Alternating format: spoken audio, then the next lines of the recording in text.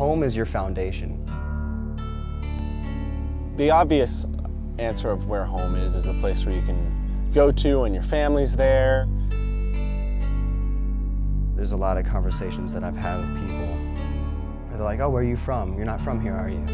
Where's home? And it's always been a, a very difficult question to answer because I don't know what that is.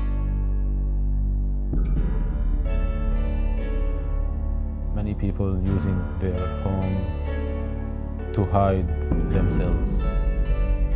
It's like a place for keeping secrets.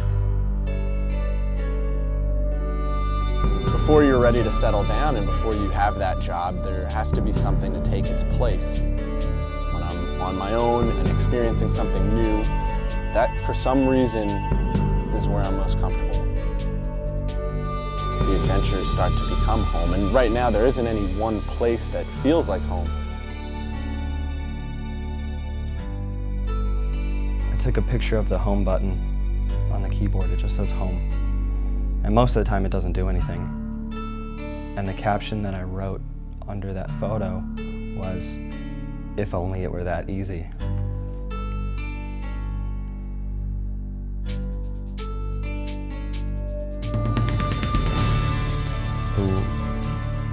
Protect us from judgment, from people judging us of doing something wrong.